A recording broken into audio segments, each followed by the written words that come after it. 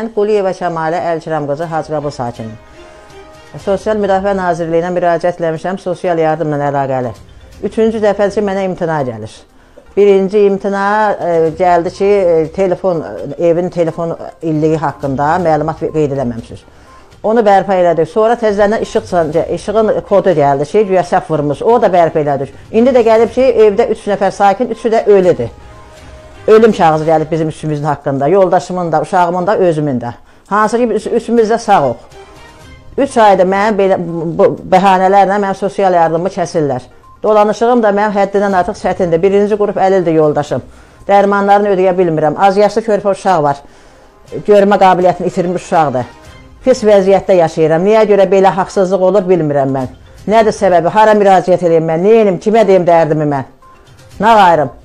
Niyə görə bax belə bir haqsızlıq olur? Niyə görə mənim haqqımda belə haqq? Mən nə yeməliyəm? Özüm var, nə körpə az yaşlı uşağım çörək istəyir, yemək istəyir, işıq istəyir, isti yer istəyir.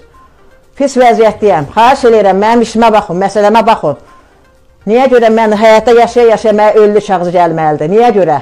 Bu boyda haqsızlıq olmaz. Xahiş edirəm, təkrar-təkrar ki, bir də mənim işimə baxılsın, ölçü götürülsün. Əks halda mən başqa müraciətlər eləyəcəm. İddialar qaldıracam, belə olmaz haqsız.